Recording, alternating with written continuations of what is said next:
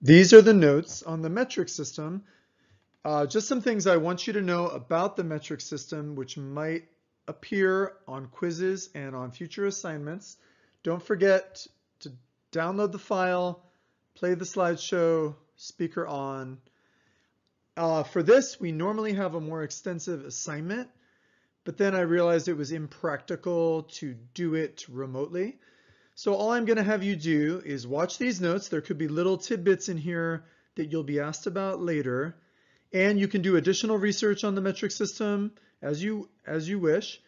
And you're going to write a little paragraph describing the metric system, contrasting it with the standard system, and giving me at least four or five things you know about the metric system. It's a fa fairly simple assignment, one of our warm-up assignments. So just make sure to do a good job on it and you can submit it on Schoology. The metric system is known as the International System, also as SI, and it is used in science. So the metric system is called the International System because it is used in many many, many, many parts of the world. There's only a very few places in the world, in fact, that do not use the metric system in their daily lives. And one of them, the biggest one, is the USA. Notice the countries that are in red on this map. Those are the only countries that do not use the metric system in their everyday business. So unfortunately, the metric system is what science uses, and science is international. So this puts the US in kind of a, a bad situation. It sets us back in science. When a student wants to learn science here, they first have to learn the metric system like a second language, and then all the science that goes along with it. Unfortunately, this is a setback to us, and we have to overcome that. So notice there's very few other countries in the world that do not use the metric system in their daily lives. There's Liberia in Africa, and there's Myanmar, formerly Burma. Otherwise, pretty much everybody, at least mostly, uses the metric system. In order to illustrate the difference, the easiest way is when it comes to thermometers. If I show you the thermometer scale that we use, and contrast it with the one that is used in the metric system, it is very, very easy to see which one is better. The temperature scale that we are used to in the US is the Fahrenheit scale. Fahrenheit is a very difficult word to spell. Well, there it is written, but if you didn't see that, you'd probably make a few spelling errors. Um, now, how did Fahrenheit come up with his scale? Well, he used a pre-existing scale called Romer's scale. Romer wasn't worried about where temperatures fell. He just put marks on a glass rod full of mercury. And it just turned out on his thermometer, freezing was seven and a half and body temperature, as he measured it, was 22 and a half. Well, Fahrenheit didn't like fractions and he thought body temperature was one of those important temperatures you need to have on a whole number and so was freezing. So he thought maybe I'll just multiply those by 4 to get rid of the fractions. That does get rid of the fractions. This was his initial temperature scale with 30 for freezing and 90 for body temperature. But then because of the mechanics of the time, the way they made thermometers, he needed those numbers to be divisible by 2 many, many times. So he made a slight modification multiplied by 1 and 1 15th, or 16 fifteenths. This is true. And that is the reason why 32 degrees is the freezing point of water. And that is the reason why 96 is body temperature. Oh, wait a second. No, it's not. He wanted it to be right on a degree, right on the 96. That would have been great for him. But unfortunately, Romer had measured his temperature inaccurately, or he was just a very cool guy. And so normal body temperature is actually 98.6 Fahrenheit, which is exactly what he was trying to avoid.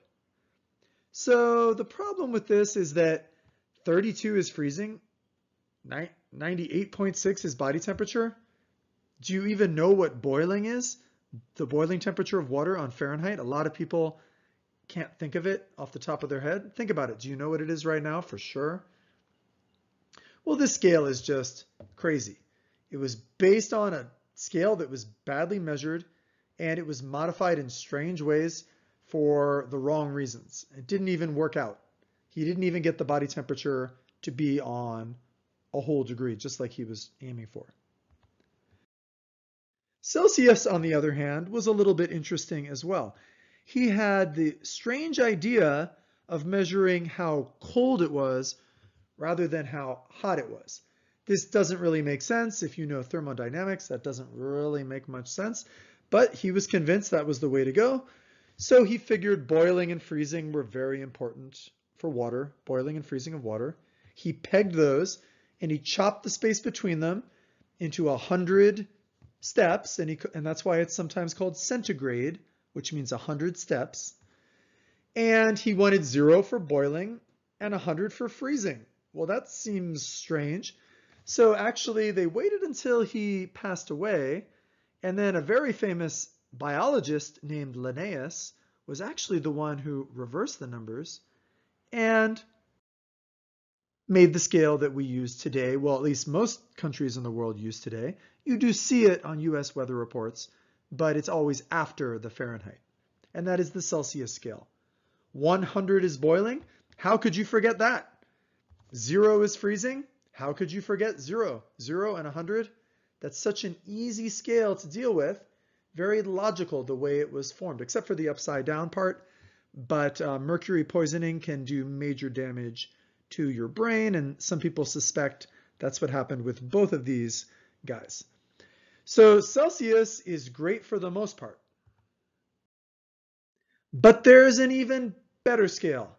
The best of all scales is called Kelvin. Now you may not have heard of this scale. It is not used by any country in the world, but it is the preferred scale in science. Kelvin is based on Celsius. It has the same size degree as Celsius, but absolute zero is the new zero. Because you can get way colder than the freezing point of water.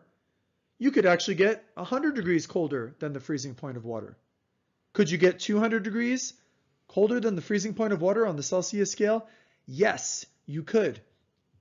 Could you get 300 degrees colder than the freezing point of water on the Celsius scale? No, because actually there is a lowest temperature, and that temperature is negative 273 degrees Celsius. So why shouldn't that be zero? That is the real coldest temperature. So why not start measuring from there? And that is what is known as absolute zero. It sounds even colder in Fahrenheit, because Fahrenheit degrees are tinier, so you fit a lot more of them in. So if, uh, in Fahrenheit, it's negative 460 degrees Fahrenheit. So Kelvin, sometimes we absolutely have to use it, pun intended, and we will uh, be using it at certain points in time. But we usually avoid it for everyday things like measuring the temperature in a lab environment or the temperature outside. Usually we'll just stick with Celsius. But Fahrenheit is right out. Fahrenheit we should have gotten rid of a long time ago. It's just that we're used to it. We're stubborn. Someday, someday, we'll probably switch to Celsius. So what is the boiling point of water on the Fahrenheit scale? Well, it's 100 Celsius. That's easy. That turns out to be 373 Kelvin. But what is it Fahrenheit? 212 degrees Fahrenheit. So a lot of people sort of don't know that. And think about it, that's an important temperature. When does water boil? So you go around and survey random people and say, what temperature does water boil at in Fahrenheit? And some of them might give you like 200, some might get it right, but a lot just don't know it because it's harder to remember than 100. It's just harder to remember. And then of course, ironically, Fahrenheit messed up getting body temperature on a whole degree. He got 98.6, but Celsius did it by accident. It turns out on the Celsius scale, average human body temperature is right on 37 degrees Celsius. So your temperature is probably 37 degrees Celsius plus or minus 1 degree Celsius. Um, younger people just generally have a slightly cooler temperature. And um, of course, unless you have a fever, it might be a little higher. So, um, and then of course, well, 32 is when water freezes in Fahrenheit. What is that in Celsius again? Well, of course, water freezes at zero degrees Celsius. You probably knew that one because we even say it's sub-zero. We even use that terminology even though it doesn't really apply in the Fahrenheit scale. And zero degrees Celsius is actually 273 Kelvin. So for the most part, we're going to use Celsius. That is the most useful scale. Kelvin is the best if you really get down to it, but we use it when we have to. So these things we're talking about, like degrees Celsius, degrees Fahrenheit, those are what we call units. A unit is the fundamental increment that we use to measure a quantity. So for example, if you're talking about something, it's like saying what the one is. Remember, unity means all one thing. So it's what the one is. Like if you're saying 37, 37 what? What is the one? Grams? 37 grams, or 37. 37 what? 37 meters. Meters is the unit. So the unit is what you're measuring in. Are you measuring grams? Are you measuring meters? Are you measuring joules? Are you measuring liters? That is what you're using to measure with. Or as we just saw, you could use the degree on the Celsius scale, degree Celsius, which is actually quite a bit different than degrees Fahrenheit. Degrees Fahrenheit are about half the size of a degree Celsius.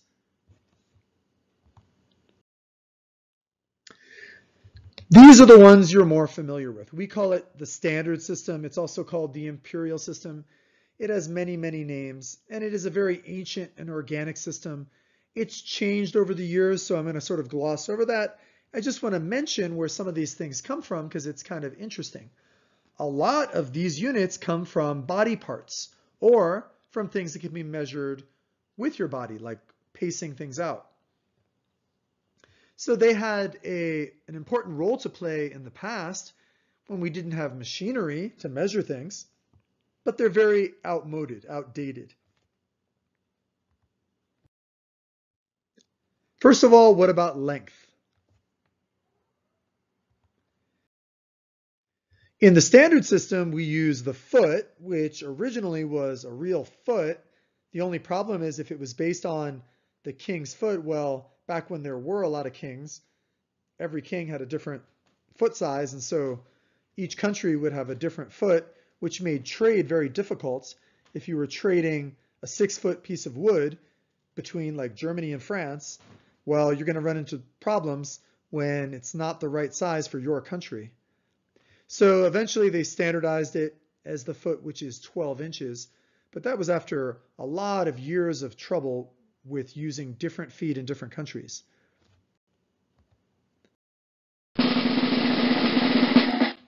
The mile, on the other hand, was not based directly upon the foot at all. Other than the fact that you had to move your feet in order to measure it, it was originally based on a thousand paces of a Roman legion. We're talking about ancient Rome. You know, thousands of years ago, they came up with the mile. The word in Latin is milia passuum, which means a thousand paces. A pace is two steps. So you could also say 2,000 steps. Now, a Roman legion has a bunch of so soldiers with different paces of their own, but if they're marching, it all evens out. And they would throw down a rock and make a mile marker. Then they take another thousand paces and throw down a, a, another rock and mark it as another mile marker. So the mile goes way, way back, but it wasn't based directly on the foot, so it doesn't come out to be a nice number. Do you know how many feet are in a mile? I'm talking about a statute mile, what we use to measure the distance on land between cities, for example. Well, a statute mile doesn't have a nice round number. In fact, it turns out to be, did you know this? 5,280 feet. To complicate matters, they came up with a different mile for use in the ocean called the nautical mile, and the nautical mile has a totally different length. It was based on the length of the equator, and the nautical mile turns out to be 6,080 feet. So notice how different those are. They're almost, they're about 800 feet different, right? 800 feet different. That's a big difference. So miles, converting to feet, like if I said, okay, how many feet are in 77 miles? You're like, oh boy. And then you have to write it down, you know, do the conversion using the 5,280. Well, it turns out that is an issue with the mathematics in the standard system. Nothing converts really, really easily.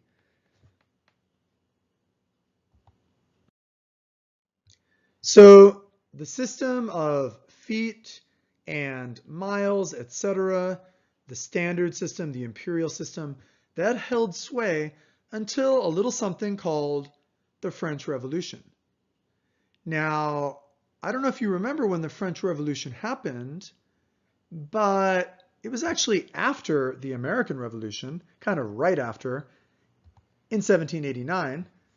And, well, they didn't like having a system that was based on, for other, among other things, the king's foot. They kind of got rid of the king, to be blunt. Um, and they wanted to start things over. They wanted to get a better system of measurement. So this is actually where the metric system originated. It came in the aftermath of the French Revolution, and then it spread around the world. A lot of the other things they did were at least temporarily reversed, but the metric system continued to gain hold around the world right through to today. They decided to base their unit of measurement not on a king, but on something much bigger on the planet we live on. At the time, they had a pretty good understanding of the size of the Earth, and they knew about the distance if you were to travel directly from the pole along the surface down to the equator. Let's say you could skim over the ocean, flatten out the mountains. They knew what the distance was. And they said, well, if we were to chop that into small enough pieces, like divide it by, I don't know, 10 million, then you would wind up with something that would easily fit between your two hands or in your two hands. Now, let's face it, they were going for something that was similar to the yard, which was a common measurement at the time that was three feet. And so the meter, of course, had to be somewhere in that range. But a meter is bigger than a yard, okay?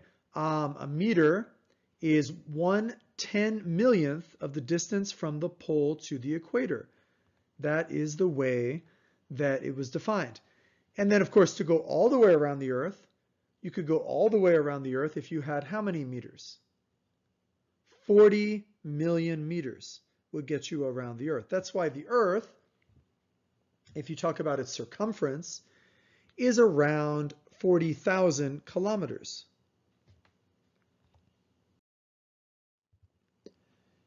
They knew that they might be wrong about the size of the Earth, but they didn't want their meter fluctuating based on new discoveries. Oh, the Earth turns out to be a little bigger or a little smaller.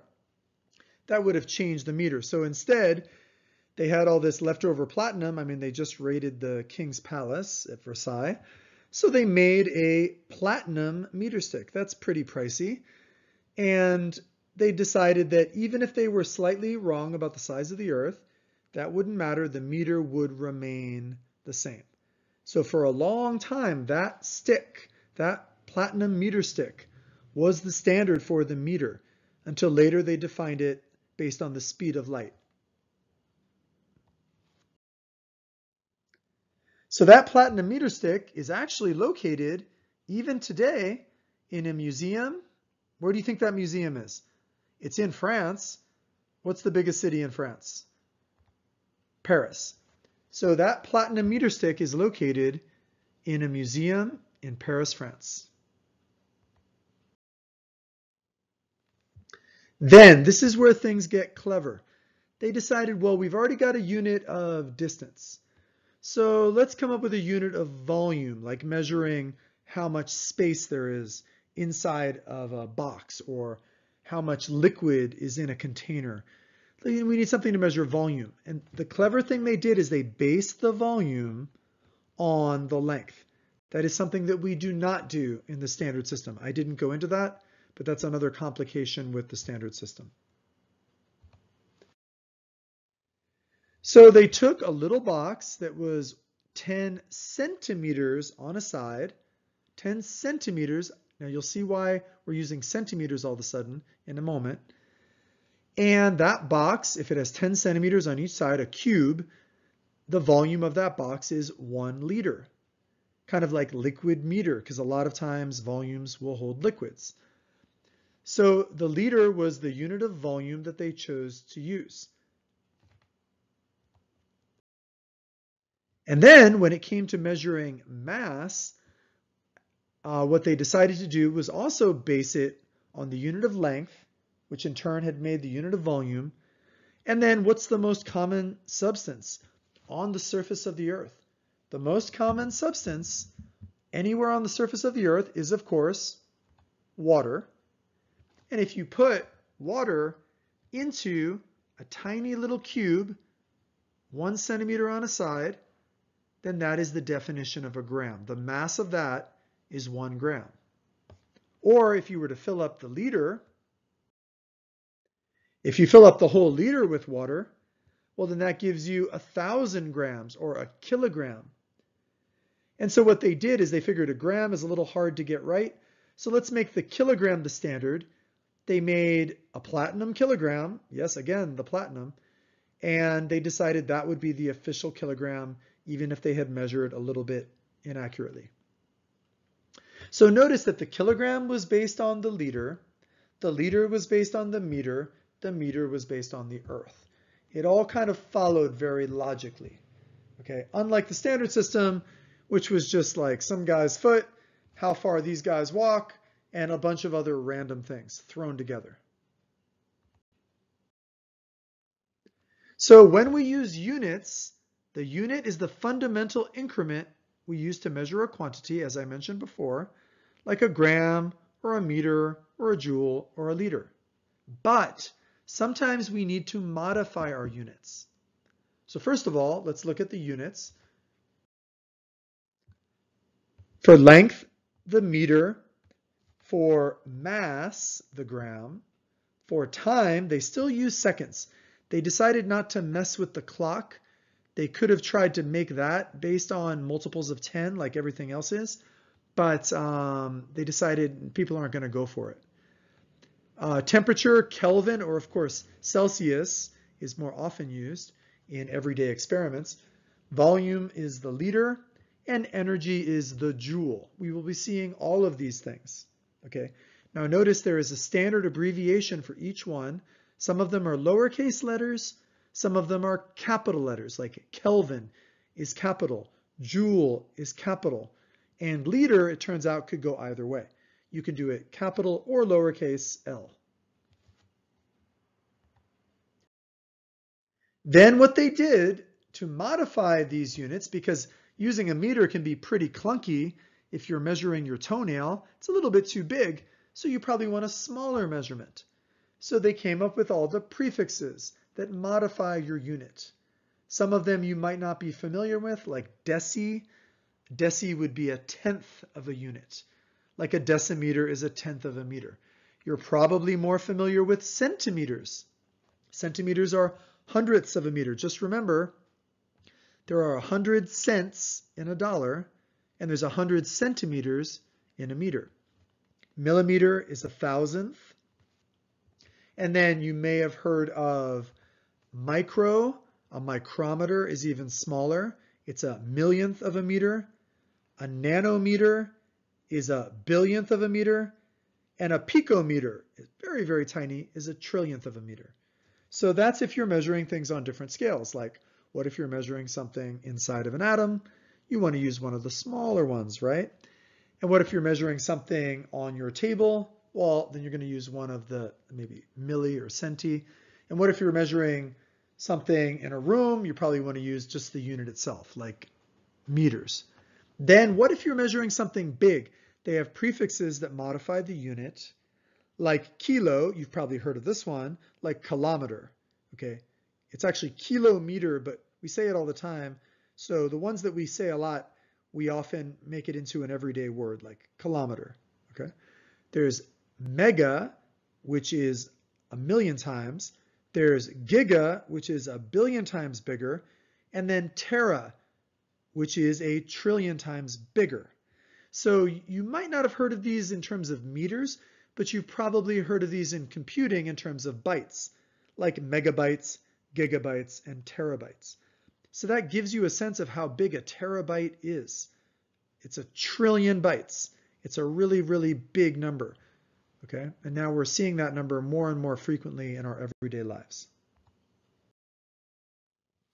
So if you have your base unit, like meter, you can modify it with a prefix. If I put an M in front of it, if there's two letters, then the first one is always the prefix. That's millimeters. That's thousandths of a meter. km, that's kilometers, that's thousand meters. That's a thousand times bigger than a meter. So we measure kilometers, measure between cities, between towns. And then of course, you know centimeters, that's the one people are most familiar with in the US. It shows up on many of your rulers. And centimeters are good for measuring things like the length of a pencil or a remote control, something like that. So the ones on a meter stick or on a ruler that are numbered are the centimeters. The little tiny markings in between them are the millimeters. Now notice there are 10 millimeters in each centimeter. So these multiples of 10 make conversions really quickly, uh, really quick. For example, what if I had 7 centimeters? Well, I know that's 70 millimeters. If I have 120 millimeters, that's 12 centimeters. All you have to do is move the decimal around, just drop a zero or pick up a zero. It's pretty easy to convert. You can do the same exact thing with other units in the metric system, like the gram. You can put m in front of it, that's milligram. That's a thousandth of a gram. You can put kilo in front of it, k in front of it, kilogram. That's a thousand grams. A lot of people think of a kilogram as about 2.2 pounds, but pounds is actually a weight and kilograms is a mass. But under normal Earth gravity, they're roughly equivalent. So it's okay to think about think about it like that in a general sense. And then there are centigrams, hundredths of a gram. That's usually what our lab balances measure to in our lab room, which sadly we are missing right now.